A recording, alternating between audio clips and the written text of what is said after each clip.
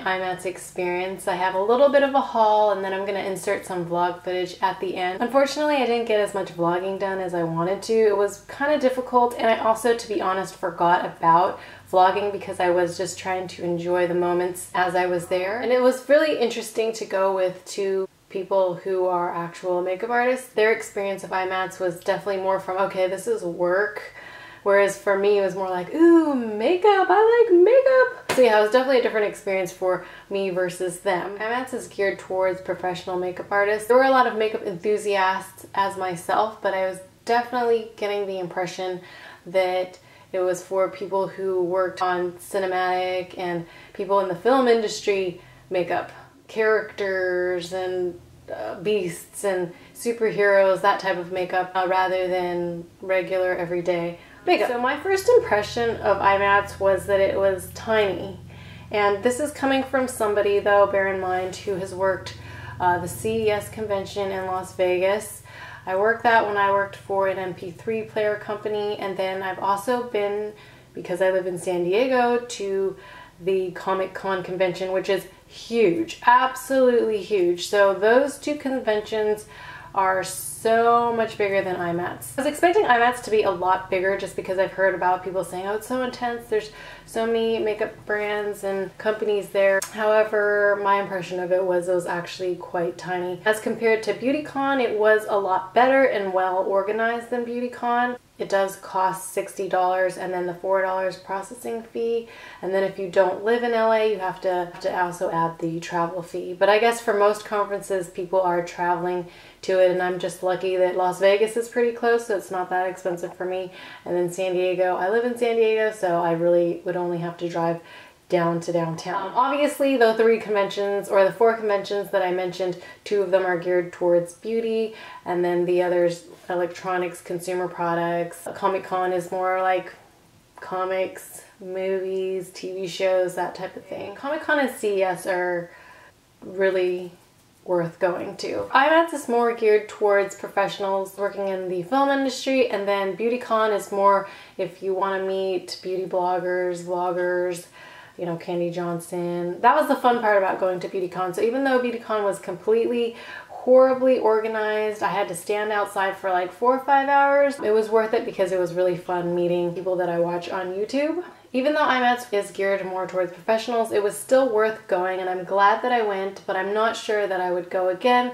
And I'm not even sure that the two ladies I went with would be interested in going again either because they tallied up their discounts and they said that they saved a total of $11 because they get a pro discount anyway if they were to buy the products online. I heard that MAC was only giving a 30% discount, which for them is not good because they get 40% off anyway. So I'll go ahead and get started on my haul. The first item that I picked up is the Sedona Lace brush case. I considered picking up a whole set of brushes, but I was looking and the makeup crazy person that I've been trying to keep in check uh, told me just to buy the case because a lot of the brushes that they had I felt like were duplicates and brushes that I already own anyway. They were having a great sale though. It was 50% off everything on Sunday because I went on the Sunday. I think if you went on Friday or Saturday, they were only doing 30% off. The brush set that I was considering getting was a great deal. It would have only been 40 something dollars. That would have come with this cup and also with like eight or 10 brushes. But like I said, I wanted to keep myself in check and I only picked this up. And the reason I picked this up, even though I have a cylindrical brush holder already, is because it's about twice the length of that one. The other one is only gonna hold short brushes. This is gonna hold every length brush. And I think I picked this up for $12.47. Um, the next thing that I picked up was from Frends and they gave me that nice little bag and it's the Viseart palette in number four, what is it? Dark matte. The reason I picked this one up is because it has unique shades that I don't necessarily own. And then when I touched the sample, it was just this buttery, beautiful, pigmented, wonderful. I just saw and was like, I have to have this. And I thought about getting the neutral one too, but then I was thinking about my Naked palettes, which I love so much already. And I decided, okay, I don't need the other ones, but now I'm kind of regretting that I didn't pick another one up because this was only $55. This costs $80 at Sephora. Their packaging is a little bit clear plastic, like really? Mm, but I think it's for pros, so that's why it's no frills, whatever. But I've heard so much about this brand and I've always wanted to try it. So it was $55 and unfortunately I had to pay tax because stupid me, instead of giving cash, if you paid cash you didn't have to pay tax. I didn't know that, I didn't realize it. Um, and so I, most of the stuff I paid for with my card and I ended up having to pay tax. So, which is so dumb because the night before I went up there, I withdrew a bunch of cash. So I had the cash, but I like, for some reason in my head, I was thinking, oh, I don't want to like take out my wallet. So it's my fault. But yeah, the Viseart palette. Second thing I purchased was from the booth called Cici Fashion Brush and it was $2.50. I saw somebody else haul this when I was doing my research on what to purchase at IMATS and somebody else hauled this and I was like, I need that. It's not that well cut. I didn't notice until I saw it in person for myself, um, but it is a nose contouring brush. So basically you could pretty much do this yourself if you picked up a large eyeshadow brush and you just decide to cut a V into it yourself because the brush is really poorly cut. Um, but it only cost me $2.50 and that's why I decided just to pick it up anyway. Um, and then the next item that I picked up was from Delium Tools. Delium Tools also gave me a cute little like reusable bag as well. I picked up the 944 tapered contour brush. I've always wanted a brush that was like this. This actually reminds me a lot of the tapered brush from e.l.f. except it's round all the way whereas the e.l.f. one is flat. This was $9. I think it normally retails for 12 so I saved like a whopping $3. But I was at the show, I thought to myself, why not? That's the thing Gymba24 says to herself all the time, why not? I feel like a major hot mess today because I'm wearing very sheer coverage foundation so you can see all my freckles and I'm wearing a very sheer, this is the Buxom lip gloss I feel like you can see all the different color pigments on my lips too.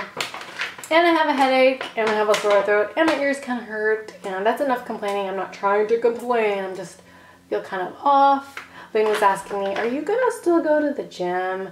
And I'm like, yeah. I'm gonna take my chances and see if I get full-blown sick. Um, but hopefully I don't. Did I mention that last week I had my ingrown toenails removed? So I was on antibiotics so that my toes wouldn't get infected. TMI, I know, that's just the story of my life. Um, then the last thing that I picked up from the show was this Parnian Spirit Special, or I just call it Parnian, um, Parian Spirit set. And it came with a 16 ounce brush cleaner and a spray that was two ounces and then a little jar that you use to swirl your brushes in when you clean them and then two brush cleaning wipe thingy mabobs. I think my friend who also picked this up at the show, she gets a pro discount and she says she saved a whopping 23 cents. So she was a little disappointed about that. Um, I, on the other hand, am not a pro. I don't get discounts anywhere, so I saved on that. Uh, and then I got the MAC Mineralized Skin Finish in Soft and Gentle, and this is in the new packaging. And I didn't pick this up at the show, but my friend who gets a MAC Pro discount, she picked it up for me. So, woo! This is what it looks like. I do love my highlight, so uh, I know everybody's like, oh, I'm over the whole strobing, the highlighting thing. I'm not over it. I love to do my highlight. This part sparkles. We're in good shape. So IMATS was in three different halls. There was one little baby hall that had kind of strange, had, I shouldn't say strange, but they had a lot of off brands in there. That was the first haul we went into and after we left I was like, oh, is this what IMATS is gonna be like? And my friends were like, oh, it felt like Chinatown in there because they had a lot of like no-name lashes or like um, no-name makeup brands. They did have a couple, I think House of Lashes was in there. They had China Glaze. China Glaze was in there. A wig shop was in there. My friend actually purchased a wig from there. It was a tricolor wig. I'm going to insert a photo if I find it because it was so cute on her and I kind of regret not getting a wig myself because it was only $46 I believe. Makeup Forever was there, Kat Von D was there, Crown Brushes was there, and NYX were there. I didn't get to see any of those booths because the line was too crazy and to be honest for NYX I could buy that at Ulta for 40% off whenever they go on sale and then I can still use a $3.50 off $10 purchase. Um, so I didn't want to wait in line there. And then Anastasia Beverly Hills, their line was crazy also. Tarte, I was kind of like, Tarte was a brand that I was pretty obsessed with when I first started YouTube and then I think it breaks me out. And I don't like their blush because I feel like it always creates a hard pan on top and I have to scratch it off. I still like Tarte's concealer, the Maracuja Creaseless Concealer. I still like that one. Um, but there's nothing from Tarte that's excited me lately. I feel like I'm a lot pickier even though I still go on crazy hauls but I am pickier now. Let's see, Naimie's had Smashbox, Too Faced, Stila, a couple of other brands 40% off. Their line was absolutely crazy and I didn't want to make my friends wait in that line with me. And I could tell that they were kind of like over it because they view makeup more as a job, whereas I was the only one who's like a fangirl of like, ooh, makeup, makeup. I felt bad making them wait for me at any booths. A few times, like when I was contemplating over which Stellium tool to pick up, I could tell they were like, hurry up. So I tried not to take my time. Um, but by the time we went back to Naimie's, like Too Faced was all sold out. And I have the chocolate bar palette, which was like one of the only things they had left. I have it, I'm not too crazy about it anyway, so I wasn't that bummed that it was that everything was sold out. So that was my IMATS experience. Thank you guys for hanging out with me, sticking it through, even though hopefully before the middle of 2016 I'll have that area cleaned up, that area cleaned up.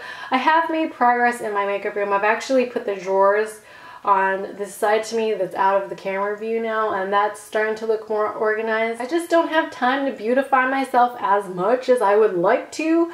That's okay because I love my baby girl. Thank you guys for still sticking with me and hanging out.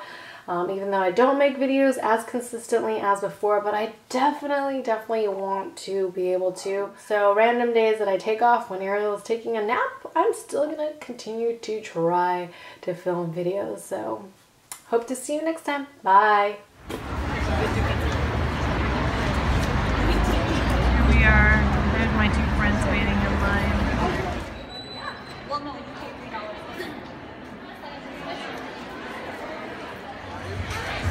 Shopping.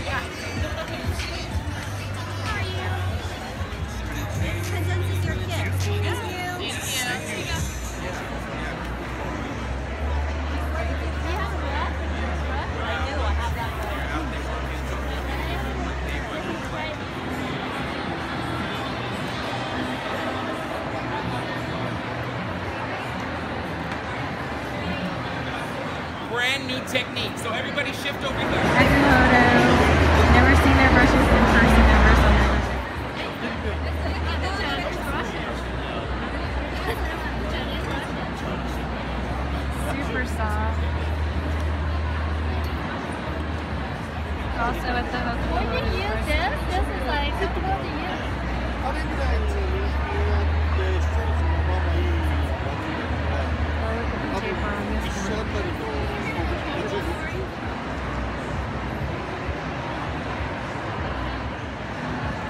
The one in the front. Yeah, they had it just That guy came up to me and my hand and talked to me.